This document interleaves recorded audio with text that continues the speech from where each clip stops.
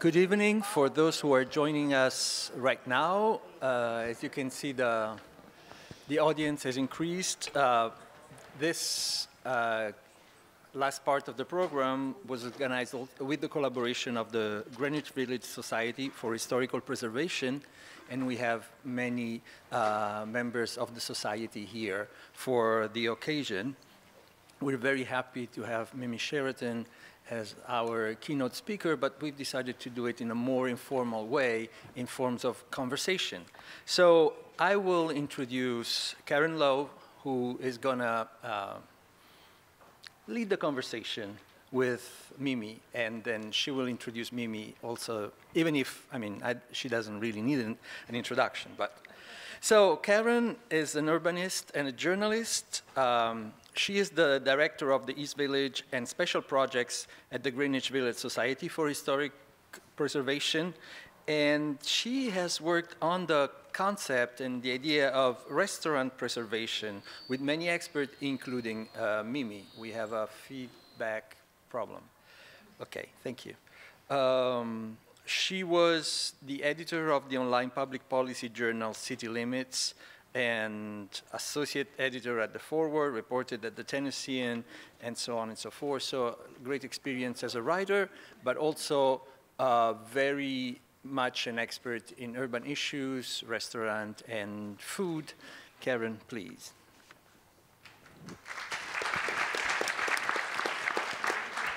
Thank you, Fabio. Um, it's a great pleasure to be here as part of this wonderful conference, and it's our great pleasure to hear from Mimi Sheraton this afternoon. Mimi is one of America's, and indeed the world's, foremost experts on food. From restaurants to recipes, folkways to foodstuffs, grand and humble, familiar and exotic, but always with an insistence on deliciousness. In her six decades of writing about food, she has been a pioneer. The first female main restaurant critic at the New York Times. She has been prolific, writing 16 books of recipes, journalism, and mem memoir. Most recently, of course, 1,000 Foods to Eat Before You Die, which she will happily sign for you after the program. If you buy it. and she has been authoritative, inspiring both peers and readers with her diligence as a reporter, confidence as a tastemaker, skill as a home cook, and of course, her lovely way with words. Mimi grew up in Brooklyn with a father who sold produce and a mother who really knew how to cook. She was always interested in food, Professionally, she first became an interior designer and wrote about furnishings for magazines like Seventeen and House Beautiful. But her writing and travels began to focus more and more on food. Thankfully for us, the many magazines that have published her work, and of course, the culinary bookshelf. Importantly, here at the New School, Mimi is very much a villager. She attended another university nearby and has lived in the neighborhood for seven decades. To get here, she in fact just had to come down 12th Street. As we discuss Gotham on a plate, we must also touch on the unique role of the village's markets and cafes. So much has changed. The role of the critic, the role of the home cook, the role of the restaurant. So let's get started. Mimi, in your new book, in the introduction, you write, the world of food has never been as exciting as it is now. Why? I think uh, the interest in developing new foods, the availability of so many ingredients that we didn't have before, and the sort of global searching that chefs and restaurateurs do to pique our interest and to bring us things we didn't know about before. I also think uh, the media is an enormous help for spreading the word. And um, the result is that we have a much richer larder, a much more diverse menu uh, to choose from. And when I was writing A Thousand Foods to Eat Before You Die, which was based so much on 60 years of research and lots of travel, I tried very much to have a global balance, to, to represent countries whose cuisines I think are very up and coming on the fashion scene, most especially, I think, West Africa. In the next two or three years, we will hear a great deal about it entering the fusion scene. I noticed uh, that the section on Africa, I think, is about as long as any other. Um, the book is incredible. It uh, takes you from everything from things you know, empanadas, chicken soup, um, to things you have never heard of. And um, I confess some things that I can die without eating, like jellied eel. Um, but um, so Africa, uh, tell us about that. What's going to happen next with menus and African influences? Well, some of the West African restaurants in Harlem serving Senegalese food, for example, uh, although the ingredients are different and the spices are different, the look is very much like Louisiana cooking. I think anybody who eats jambalaya would have no trouble eating some of the fish and um, meat stews they, they see up there, which should be no big surprise because it was the slaves from West Africa who were taken to Louisiana, became the cooks, and brought with them, of course, among many other things, the okra that they called gumbo. So I think there is a sort of kissing cousin um, familiarity. And since everyone is looking for new influence, new food words, I think words like chicken yassa and jollof rice and a bunch of other things are pretty soon going to make it. I, I would like to say something you said in the introduction. I did flesh out my education at the other place downtown here. I took a number of literature and philosophy courses, Sidney Hook, Albert Lenbro. They had a, quite a, uh, a staff at that time. Let, so. let that be noted. Excellent. Um, now, with um, speaking of words, the new words that we're going to be seeing on menus, um, I dine out a fair amount here in New York City, like uh, most of us with unbearably small kitchens. Um, and I don't know how to feel. I'm a little embarrassed at how often I have to ask what words mean on a menu. I feel like it's a vocabulary test. I guess you don't have that problem. I, now and then. Now I, I yeah.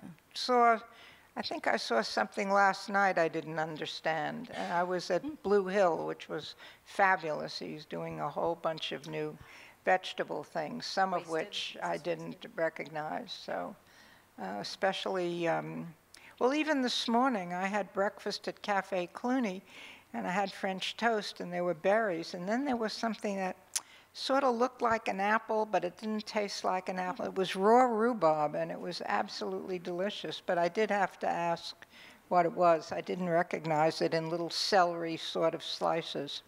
So that, that's the thing. Food is, it's an endless subject, and there are always more things to be learned about one facet or another. Something that is uh, distinctive about Mimi as a critic and as a writer is the depth of her erudition um, in addition to studying in, at at least two universities in New York City. Um, you have studied at fine cooking schools in different locations around the world. Obviously, you're incredibly well read and ridiculously well traveled. I don't know if there's anywhere you haven't been. Um, so tell us about that. It, it obviously has made you who you are, but so many people writing about food today, I don't think, have that experience? Well, they may not have anyone else to finance the travel. I think that's a very important feature that uh, could happen in my day if you were well known and if you worked for the right publications. I suspect now that they are pulling in their horns economically as far as sending people all over. Um, I think I, I see in travel articles, for example, many more articles by people who live in a place rather than being sent by the magazine or publication. So that, that's a handicap. But I used to plan some, quite often in fact, not just sometimes, food articles that would take me to the place I wanted to go. I, I once worked for a man who accused me of being someone who seems to be doing one thing but is really doing something else. And that was true. I mean, I can remember when I wanted to go to southern Spain, and I was at the Times, and I suggested an article on capers, on growing and, and processing capers, and they thought that was a great idea, but they had to send me to southern Spain. to do it. So that was, and then I worked after I left the Times, for which I traveled a great deal and had before, for the Condé Nast Traveler for five years. So that was all traveling all the time, all around the United States mostly, but also to, you know, two or three times a year someplace abroad. Um, let's see, so much to talk about. Um, how about a, a trend these days in the New York City dining world that you like a lot? Well, I love the new cooking. I love the, the fusion of ingredients, and I like very much uh, the way vegetables are being prepared now. Now that uh, there's so much emphasis on eating vegetables, so many vegetarians, chefs are beginning to give vegetables a certain heft uh, that would suggest what in the trade is known as mouthfeel of meat. Uh, beets, carrots, and parsnips, particularly. Uh, I guess in the last week I've been to three sort of hot new restaurants that all began with glazed baby carrots. You have to name them, the restaurants. there was Narcissa and Upland. And last night at Blue Hill, that's not a new restaurant. Now, at Blue Hill, did, there's the um, recycled cuisine. No, it wasn't the garbage menu okay. last night. okay. Did you have the garbage menu at any point? No. I okay. Didn't. Okay. Uh, so, so they all had. Did you say glazed carrots? Yep. Yeah. Yeah. Hmm. Uh, at Blue Hill, they were sort of raw, but they had a kind of oily, lemony okay. coating on them. And what's a trend that you loathe? Kale. Do we have any fans of kale here? I hate it. Did, have you always hated it? But when, when I was growing up, kale was a winter vegetable, and it was the only thing left outdoors at greengrocers. You know, they would take everything in because it was cold. And it was believed that kale is not good until it freezes once. And that freezing would tenderize it because when you freeze, you break open the cells, and then when you cook it, it gets much softer. And kale was always cooked soft and always with some kind of oil or fat. If it were Italian, it would be smothered with garlic and olive oil. If it were in the deep south, it would be cooked with ham hocks. If it were in Chi Chinese cooking, it would be similar to the Italian, but with a different oil and seasonings, and always soft. And what they're doing now with it hard or, God forbid, raw, or toasted kale chips, kale Caesar salad, I, I really don't like at all. But I think, I think the celeries are coming up not only stalk celery and knob celery, but a new one to look for called celtuce, which is also known as lettuce celery, and it's a very long root, something like knob celery in, in its brownish covering, but with very big lettuce leaves growing out of the top. I had it at Alder on Second Avenue, and I'm beginning to read about it, so keep an eye out for it. And last night uh, at Blue Hill, they had a celery root that was kind of um, sauteed. It was almost like a celery root schnitzel. So stay tuned. Uh, let's see. Um, so, with all of this, the new ingredients, where, as we talked about vocabulary words, learning about um, ingredients we've never met before, um, talk about the, the provisioning, the farming, the uh, uh, supply chain, as it were you know, how are we getting all this new stuff that we've never even heard of before? Well, some is imported and some has become, I think, fortunately, the production of boutique farms near cities and sources. and it's given um, new work, new, new forms of income to boutique farmers. So I think that has been very good. And also, it stocked our green markets. I think the, the green markets, particularly New York, California, and so on, uh, have brought many, many things to the public and to restaurants that we didn't have before. I am not basically a locavore, although I would say two thirds to three quarters of what I eat is local, especially in summer when the green markets are so full. But I tend to like whatever is the best if I can get it. And though most of the summer I'm happy with peaches from Pennsylvania or New Jersey, at least twice during the season, I order Freestone Georgia peaches from Hale Groves down in Florida, and I order their white grapefruits once or twice during the winter. It's very hard to find white grapefruit in markets. They're almost always pink, and I prefer them white. So I really like a little exotica from far away, and the best uh, that I can get. Speaking of the best, you are, Mimi could talk for hours just about market, local markets, about Citarella and Balducci's and Dean and DeLuca and on and on. Tell us about getting the best around here in the village. Uh, this is a pretty good place to get the best, right? Yeah, um, I think in some ways it used to be a little better. I think nothing has matched Balducci for vegetables, although they've been that matched for many other things, except when the green markets are open. Uh, there's one near me on Abingdon Square on Saturday, excuse me, and then, of course, Union Square four days a week. But um, we have many other things, Citarella with the fish, Florence Meat Market with the meat, all the bread baking, and so on. And I, I can remember when the only lettuce you would see in most stores was you would see uh, iceberg and you would see Boston lettuce. But unless you were in an Italian neighborhood where they would have romaine and maybe even rugula way back. Um, you just didn't see it in most markets, and the only mushrooms you saw were champignon. And now, of course, every market has six, eight, ten different kinds of mushrooms, not always in good condition, but they have them. So I think the, the press and mass communication has brought all of that to the attention of people, as have competitive, inventive chefs who try to outdo each other on their menus. You are an incredibly accomplished cook.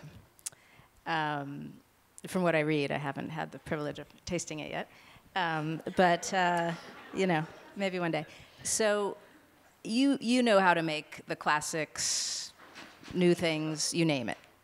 I'm guessing you can make it what with our obsession with uh, ingredients these days, these beautiful exotic vegetables, et cetera, et cetera, I almost think that um, someone like me could maybe get away with assembling, you know, the most gorgeous plate of exotic vegetables, dressed just so, and that's as good as uh, making a, the perfect beef Wellington or coq au vin or what have you.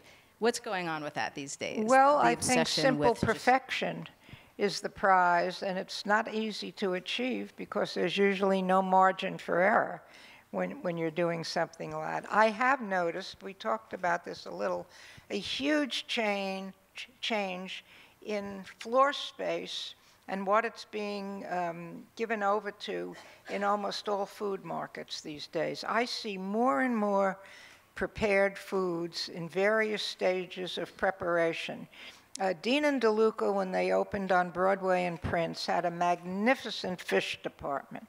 It was huge, it was stupendous, they had all kinds of varieties.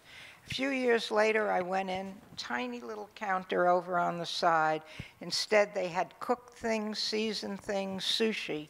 Citarella here in just here in the village is giving more and more space over to pre-sliced, packaged, uh, cut up, all the vegetables cut up. Then you can get them cooked. Then you can get them seasoned. You can get them weighed out to you at the deli counter, but you can pick them up already wrapped at another counter. And I think there's more and more of a trend, first in uh, New Yorkers at least using the prepared foods, but on the part of the markets, getting rid of personnel and cutting down the amount of time it takes to wait on a customer. I remember speaking to Andy Balducci many years ago. They had a, a marvelous uh, delicatessen salumeria department. And I said, I bet you make a fortune on that. He says, it's our lowest profit center because of the time it takes to wait on a customer. So that's why now Citarella has closed down the slicing of smoked salmon, that whole smoked fish department they used to have. They still have one or two laying around and they'll slice them for you, but they would prefer that you pick up the sliced packages. And it seems to work for the customers too. Yeah, it's interesting because my assumption had been that that was done for time pressed folks, shoppers, but the driver is as much Yeah, or well, more I mean, the, the uh, two interests coincide, the store's profit and what the customer wants, and uh, that's gradually what happens. And yet there's an impression of freshness because the fish department is still there, the vegetable department is still there, and they can channel all of that into the prepared foods. So. What do you think about Whole Foods in New York City? Uh, I think it's a very good market. It's very confusing to me. Uh, it's so big and so spread out, and I'm not a regular shopper in Whole Foods, so I'm a little dazzled. And I'm not crazy about the ones where things are on different floors. I don't like to go down to go shopping. So uh, I feel, what am I doing in this basement just for a box of Wheatena, you know, if you can even find Wheatena. But, you know, they have such an array that a lot of it is bound to be good. Uh, I enjoy the one on 6th Avenue and about 26th Street. That's a more pleasant one to shop. And the one at Time Warner Center is kind of fun, and you can pick something up and eat it there. But big sprawls like that, like Trader Joe, it's just too bewildering. That was my me. next question. If you've ever waited on the line at Trader Yeah, Joe's. I, you know, I try everything once, Yeah. and uh, also they're not close enough to me. You know, I Mm-hmm. mean, I'm closer to D'Agostino, Gourmet Garage, Citarella, and so I do so much of it Saturday and other days at the green markets. And so, and I use a custom butcher, Florence Meat Market, that cuts all the meat when you order it, so I don't pick up meat in the markets either. Um, now, you've been writing, being published for many decades. Uh, the media world has changed so much, and you seem fine with that. Maybe tweets, among other things. and um, you know, despite the fact that um, you know everybody can be a food critic now um, without your background, you you seem untroubled. Tell us about that. Well, first of all, I don't think there's anything you can do about it. It's not going to stop. So you might as well learn to live with it and separate the good from the bad. I never pay any attention to consumer survey places, Yelp, Urban Spoon. I'm not even crazy about Zagat, except for the addresses and the phone numbers. and Are- are out what's in a given neighborhood if I'm going, you know, and say, well, you know, where, where might we eat here? A- and now in the later Zagat, they've even taken away the streets from the index. So although they tell you what neighborhood is in, they no longer tell you what street it's on, which I think was a great loss. Take, But- take but note, have- Tim and Nina. you have to learn to separate and and know. And uh, I think the uh, consumer uh, surveys have a great danger because obviously a restaurateur or market can orchestrate a response, and even with Zagat, there's no proof that you've really been to a restaurant. As far as I know, they never ask to see a copy of a receipt or anything. So. Uh, but the more there's out there about food, the better. The more people learn about it, the more people become interested, and, and that can't hurt. What are your must reads? Must reads? Yes. Well, I mean, I like to see what the local New York press is doing. I always look at what New York Magazine is reviewing, not only restaurants, but I especially like Robin Robin. Uh, I like the way they cover things. I like what they cover. I read that every week. Of course, I look at the New York Times uh, food section. I don't read all the articles. I'm not terribly interested in the recipe articles, although I think the recipes of David Tanis are, to me, very appealing for whatever reason. Um, but I like to see what everybody's writing about restaurants. So I read New York Eater, I eat, read eater.com um, Edible Manhattan, all, all of the local stuff. I check out Time Out now and then.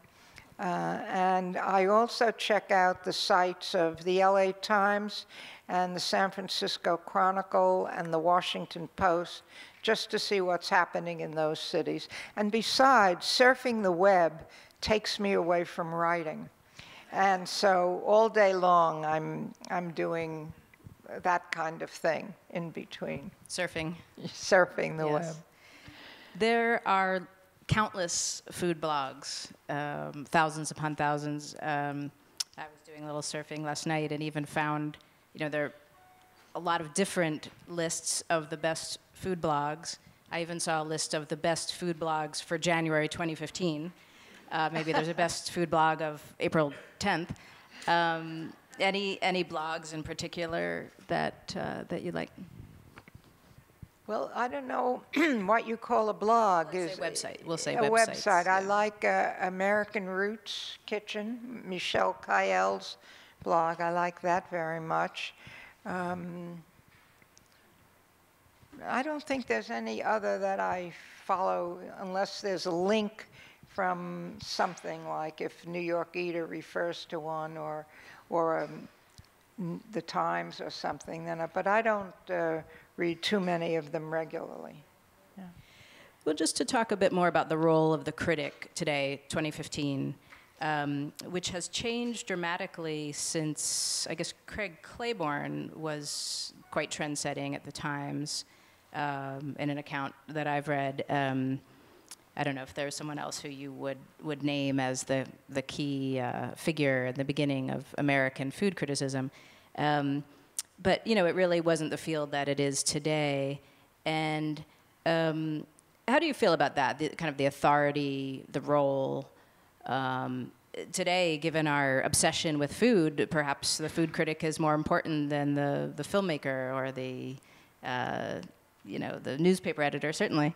Well, I, I don't think so. I think it's more important to the food industry.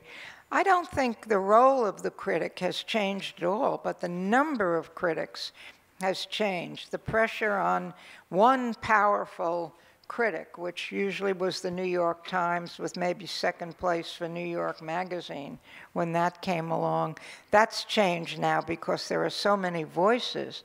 But I don't think the role has changed, which to me is to give people an idea of what to expect when they go to a restaurant. Do they want to go? Do they not want to go? Is it a new place? Is it a, a look back at an old place? So I, I think the role is the same, even though various media have changed. Do you have enemies in the food world? Yes, I'm delighted Tell to us, say tell us. so. What's that like? It's terrific.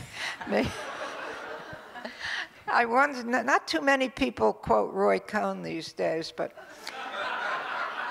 he said something I've enjoyed. He once said in an article written by Ken Auletta, the scare power of me is simply terrific. and I'm happy to say that 32 years after I've left the New York Times, there still seems to be a scare power of me. So, so that's kind of fun.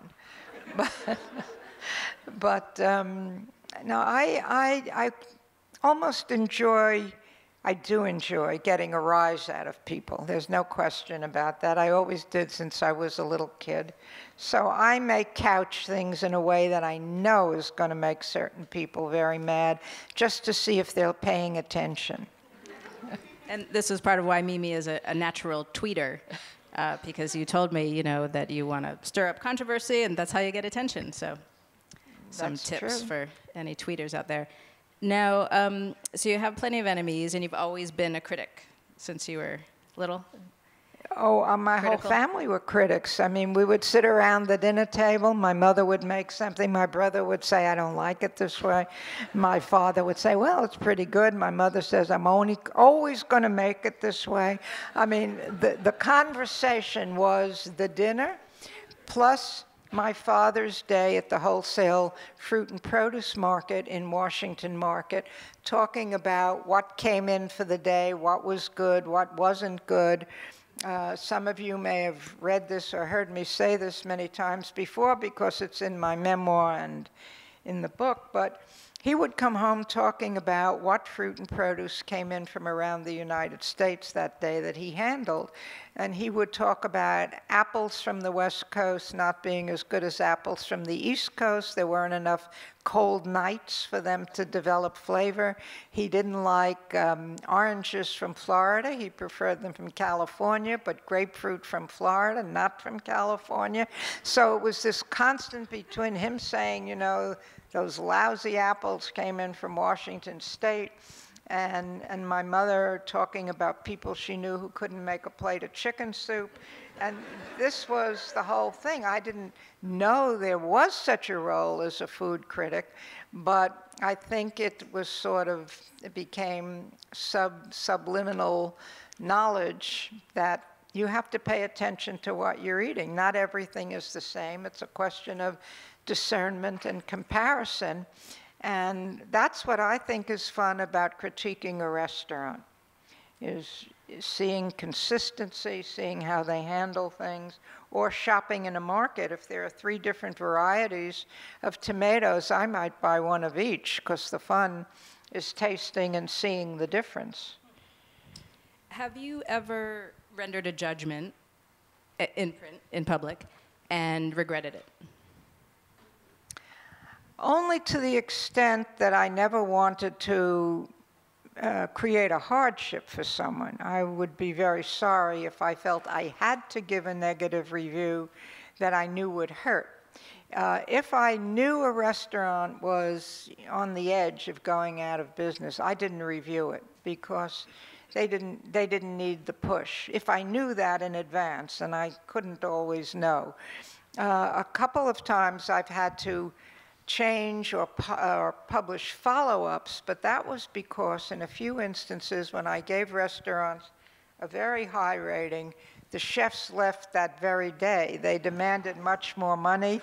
The owner said goodbye, and by the time people went out on Friday night, because my reviews ran on Friday, not Wednesday, in the weekend section, by the time people got there on Friday night, it was a different chef. So the next week, I would uh, publish a follow-up saying, the chef I reviewed next week is no longer there, you know, we'll do a follow-up. So, um, and, uh, you know, if, if a place was really nice, everybody was nice there and the food wasn't good, then you, you feel kind of sorry having to do it, and you don't do it unless it's a well-known place. There's no point in giving an unknown restaurant a bad review because you're saying, don't go to this place you never heard of. So uh, that was really reserved for new places that had a great deal of publicity, old places that needed to be revisited.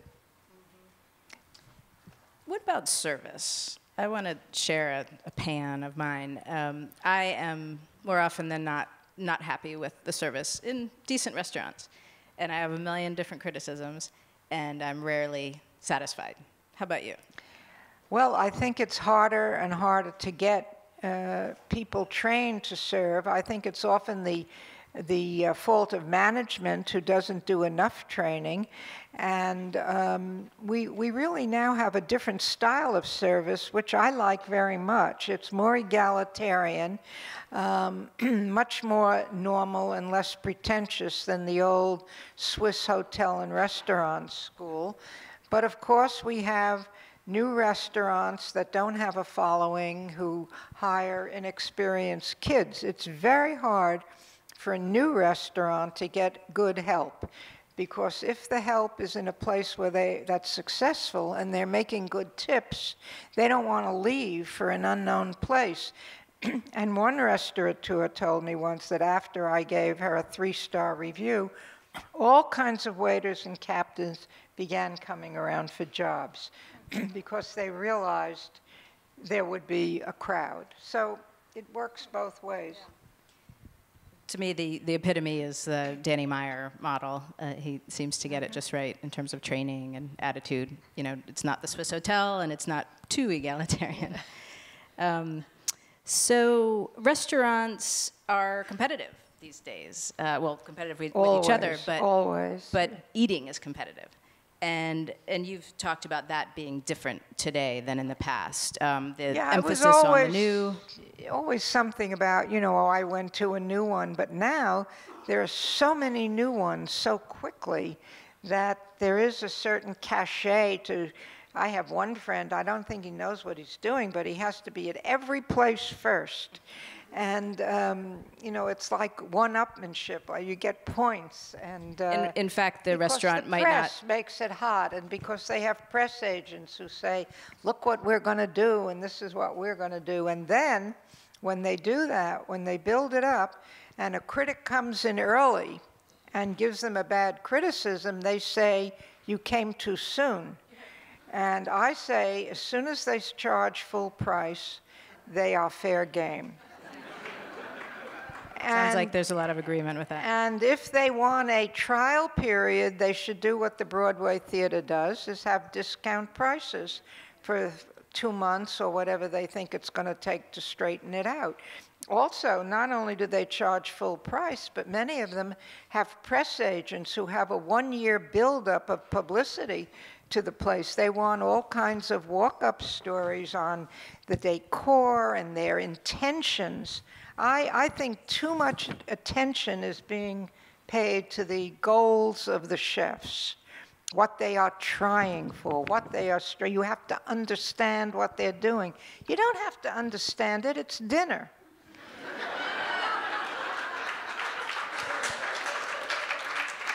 And, you know, whatever they're trying for on their way there, the food better be pretty good. It's not like uh, Picasso in a blue period and a rose period and so on.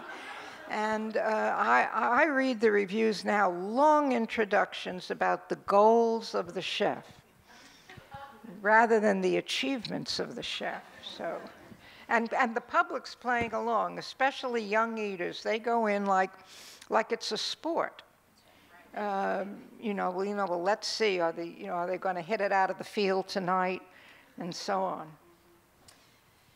So another thing that has changed a lot in the New York City uh, eating scene is are the, the kinds of restaurants in so many ways. Um, you mentioned to me something that I, I was grateful you brought up, um, which is the decline in the number of Chinese food restaurants. And I want to tell you a story. Um, it's kind of a, a joke, a stereotype, you know, Jews and Chinese food, but I happened to be on the Upper West Side going to synagogue one Shabbat. And after service on Friday night, looking for some Chinese food, could not find on the Upper West Side. Oh, there's now Red Farm, and that's a good one if you can get in on No, the Upper thanks. West Side. No, I went to this one and didn't love it. Chinese lost status. I mean, there are still, we know, plenty of little Chinese restaurants and takeout places. But in the 70s, it was a rage because we began to see the food of northern China. And after Nixon went to China, they allowed a number of chefs to come in and do demonstrations and work at restaurants for a little limited time. And we began to see cuisines other than the Cantonese, Sichuan, Hunan. And um, right now, it's uh, overshadowed certainly by Jap- Japan for status and Southeast Asia. There are some reasons. Michael Tong of Shun Lee has expounded on it. He said, for one thing, people, the young people who eat out and so on and who are busy, tend to order takeout Chinese often when they're eating at home. So they think when they go out, they don't want to eat Chinese again, never mind that it's different.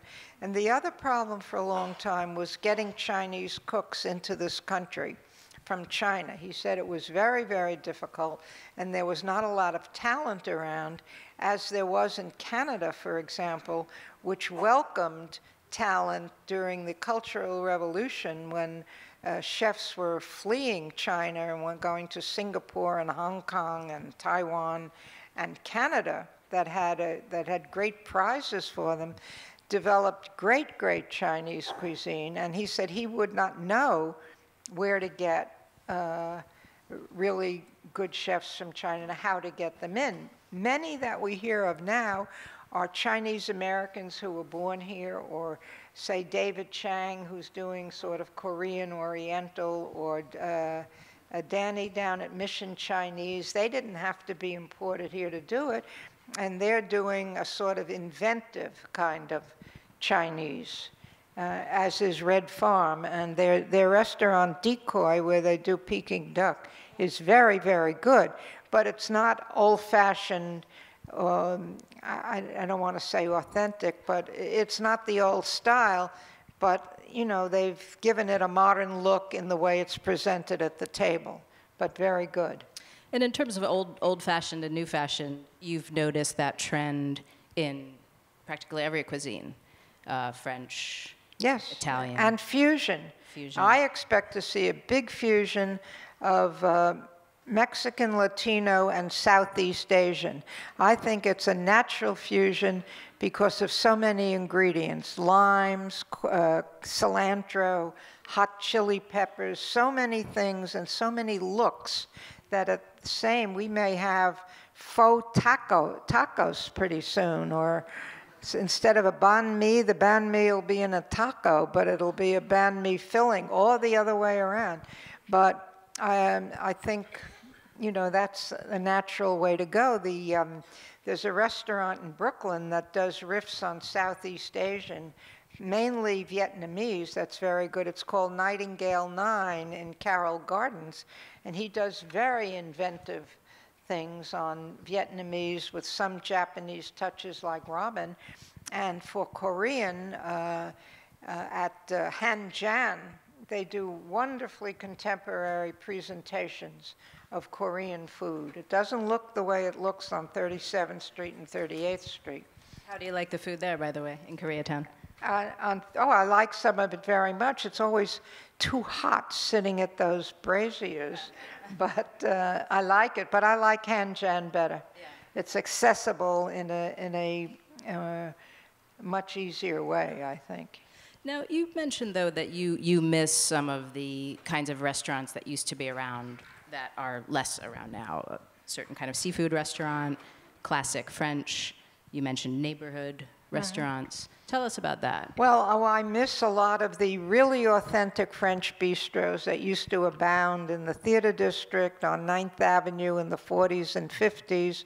And I miss seafood restaurants like Seafood of the Aegean, where you would go in and they'd have all kinds of fish, and you could have them broiled or poached or fried with very simple garnishes. I mean, if you really wanted fish, you could get it there. You can still do that at the Oyster Bar. And Aqua Grill, I must say, is very sensible in saying you can have any fish on this menu, broiled, steamed, or fried. And then they have them all in their fancy creation dishes too. Um, in the village, I certainly miss the coach house, which was um, a really upper grade, very special, elegant, impeccable restaurant. It's where Babbo is now, and I never go into Babbo without wishing it with a coach house. Even though Babbo makes some very good things. Um, and uh, why did it close? Do you know why the coach house closed? Uh, the man died. The the owner died, and there was nothing else. He had no children who were in it, and. Um, I mean, it's not only, it's not always a tale of mean landlords. He owned the building. So he was not a you know, at the mercy of mean landlords. But then there were down here in the South Village many good Italian trattorie uh, run by the Italians who lived for the most part in the South Village. Um, and those have all gone. There's a, um, a sort of riff on it now at Carbone in what used to be my favorite Italian restaurant down here called Rocco's. And, and they're doing a kind of send up on Rocco's. But um, I don't think those simple places could have paid the current rents, even if uh, they uh, weren't driven out of business. I mean, Rocco's, again, the people got old and died. So there's nothing you can do about it. And you know, we've been involved in talking about how do you save a local business? What can you do? And sometimes you can't. Sometimes it's just the time isn't right for it. And uh, having been to every corner of the globe um, as you have, do you feel that the village, um, or you know, the village, downtown New York, New York, but especially the village, plays a particular role in the cuisine of the world? In the cuisine of the world, no. I would say in the style of New York, maybe yes. And some of those uh, cutting edge restaurants may open down here, but I don't think that's a function of the village. Uh, we have some, what I consider very successful and good uptown restaurants here that are not villagey, but I mean, Gotham Bar and Grill is a classic example of a very successful, excellent restaurant, but it's not a village restaurant in the way that maybe Barbuto is or uh, Da Silvano, which I still like very, very much. And Barbuto is leaving because And it's rent. leaving Yeah. because the building was sold and the new owner doesn't want them. And Pastis is, has left and is not coming back, which I think is a great loss. I agree. Um, well, Mimi, what's on your mind these days, uh, apart from all this stuff and apart from promoting your book? Um, any particular things chafing you or that you're curious about? Food. food? Otherwise? I'm kind of interested in getting to all the new places. I, I didn't always feel that way, but maybe and now that the book is done and I have a little more time, uh, some of them have sounded very interesting, and I must say I've gotten to Cosme, which I thought was disappointing, Upland, which I thought was spectacular, Narcissa, which I like very much. Uh, so uh, I am kind of looking for remnants of the old French bistro taste. And the place that has had it most for me recently is La Mangeoire. Their chef has left, but he's still consulting, and the sous chef who was under him has continued. And I must say, I haven't been back, but I had some food there in the last two years that I thought really tasted the way the old French food used to taste. The aioli, the beef bourguignon, the, the roast, the coq au vin, uh, the pâtés, a- and they just went on doing it in that way. Couture's Bis has some of that, but it's, it's a taste. None of the new ones that call themselves new French bistros have food that tastes French to me. It may be very good, but my benchmark goes back to 1953 when I started traveling in France. Different generations have a, a different basis of comparison. So they may feel things taste French that I don't think taste French at all. What are the hallmarks of, of the taste for you? That's hard to describe, but it's a texture. It, pate de campagne, it's uh, sort of slightly oily and chewy, the breath of garlic and bay leaf and cognac. It's the way it feels when you chew it, and it's not so easy to find in France. In 50, from 53, let's say, to 65, any place you went in France, the croissants were great, the pâté de campagne was great. Then uh, I once interviewed Yves Saint Laurent on food in France, and he put it well. He said, Today you need an address. And that was different. You didn't used to need an address to know meaning a- where to a f- a get good address, The good thing. Oh. The address of a good place, because you couldn't just get it any place. So they lost a lot when they gave everything to the Nouvelle Cuisine. I think it cost France a great deal of its reputation. Sounds like maybe you'll, you'll bring it back. Bring, bring the well, trend I the met, other way. I met Bocuse after many years, and he said, Madame, you were right. So Yeah, yeah. that was a nice feeling. Always a good thing. so we probably have some some students here or, or uh, working food critics or budding food critics. What what advice would you give them? Don't get too fat. How how? Don't eat at all.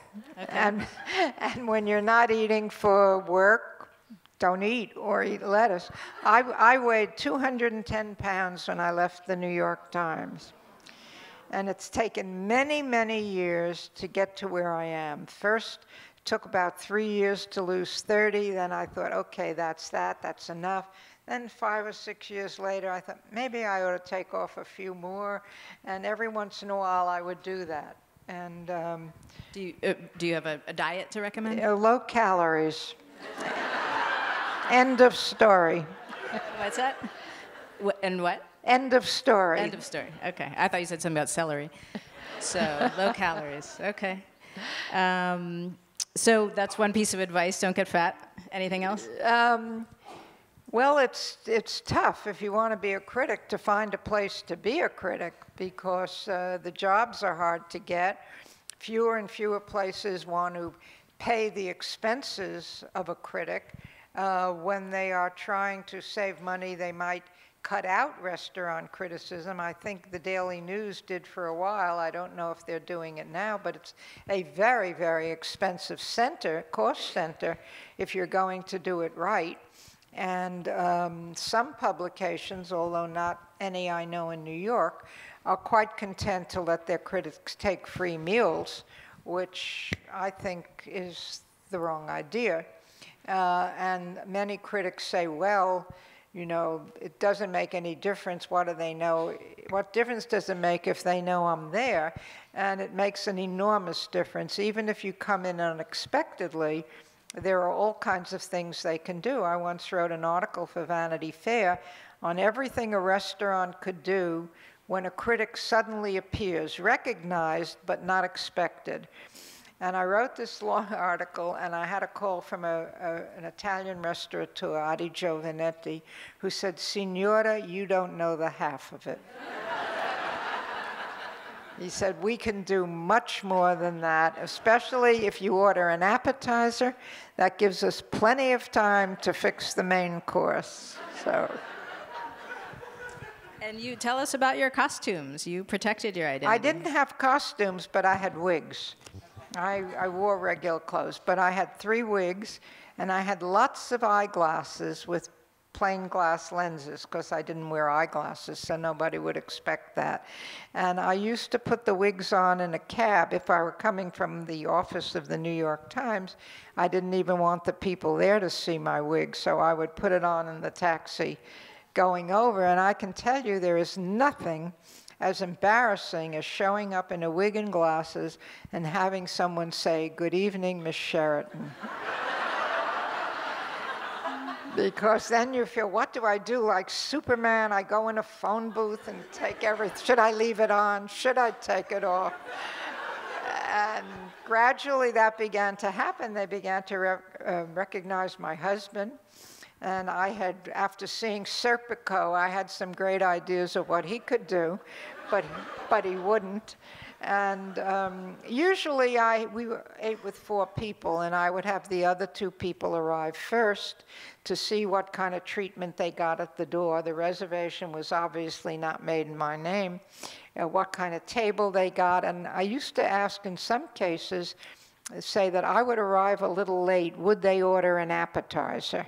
So we would see what would happen in that. And I remember once at the Four Seasons, uh, I arrived just as my friends were being served rather dried out slices of smoked salmon, and when they saw me approach the table, they just wished the, the whole uh, guerdon away and uh, brought a new one with a new salmon that they began cutting in the middle, which reminded me of my mother going to an appetizing store.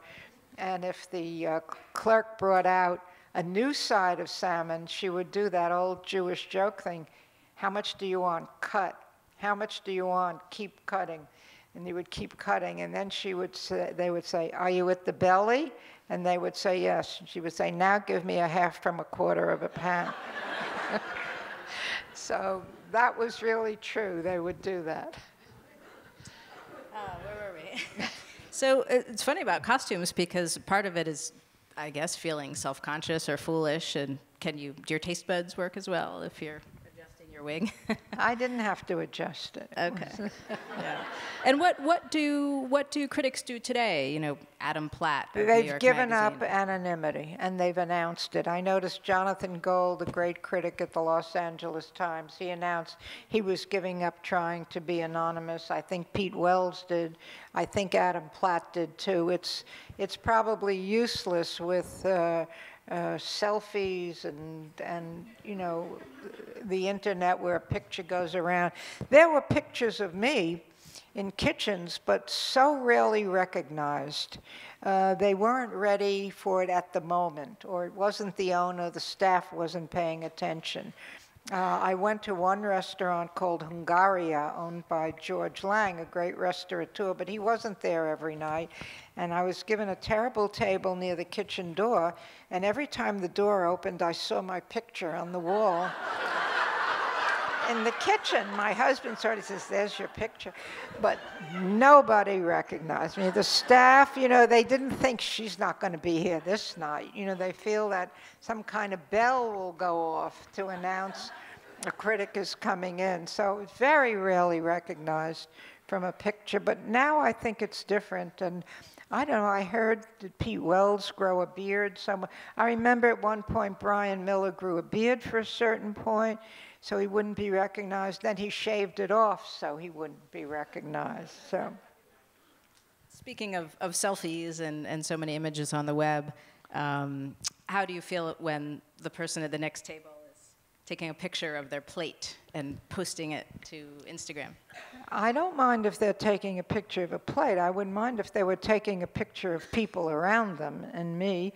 If they are people at my table doing it, I, it's a little more annoying in terms of you can't just eat they want to take its picture. So I'm always there with the fork, and they're saying, "Wait a minute," you know.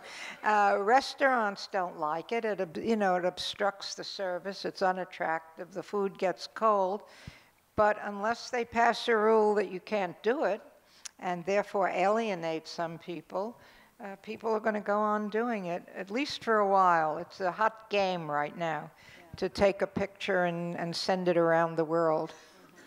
A lot of, lot of pictures of carrots going around right now. Well, uh, fess up, do you ever enjoy those pictures yourself from your friends who say, I had this fabulous meal in Rome last night and here it is? Do I do you, do you enjoy those pictures yourself? Some pictures yeah. from friends who travel, especially people who are in the business and know I might be interested. My friend Tom Margittai, who used to own the Four Seasons with Paul Kovi, we're still in touch, and he travels a lot uh, through the year, and especially to parts of Italy. And when he sees something interesting, he photographs it and sends it to me. But that's that's helpful and that's interesting and special, you know, so with a description. Research. more research than showing off. Um, so where do you have a, a, a trip planned? No, at the moment? No, I don't. Staying I close don't. to home. I'm yeah. very busy here doing things, mm-hmm. and uh, the the one place I regret not traveling to for many reasons, including food, but mostly for other things about it, is the Silk Road. Uh, I've always found that to sound exotic, and Samarkand, Tashkent, Bukhara, and some of that food is beginning to come here. So, uh, and I would love to have gone to what Russian Georgia.